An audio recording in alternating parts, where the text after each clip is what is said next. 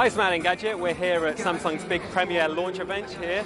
It's the Premiere 2013, and we're here with the Galaxy NX. This is a lovely view, a lovely new, in fact, uh, interchangeable lens camera with an Android interface. Now, if you take a quick look at the screen, it'll look a whole lot like we've seen on the Galaxy camera. And if we uh, back up here, you'll see the familiar settings for a smart camera. Now, we're lucky enough to be gifted with a bit of a, a skateboarding and BMX uh, show off. So if we um, take the opportunity to take a photo here, you'll see here you've got um, multiple point autofocus there. And now it's, be it's, best to talk about the hardware as well here, because you'll be able to exchange this lens out for several other features. Uh, Samsung themselves have just announced a new fisheye lens for the system. And other specs we're talking about, this uh, this beautiful touchscreen here, it's a 4.8 inch one.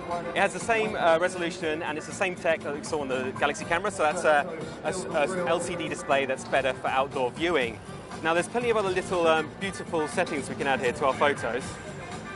If you throw up the, the little pop-up arrow here, like on the Galaxy camera, you'll see these beautiful effects. It'll actually update in real time to show you what the effects look like. Now let's quickly tour the hardware. On the top here we have a few buttons. First up we've got the um, flash on this left side. There's actually a built-in flash as well as a hot shoe. Then we've got the power button, a physical scroller to flip between modes, video record button, and the shutter two-stage itself. On the front, most of the uh, controls themselves are based on screen. You can flip between modes here. It'll um, kindly tell you which each mode, each mode does. You flip between them and then you can navigate otherwise through the screen.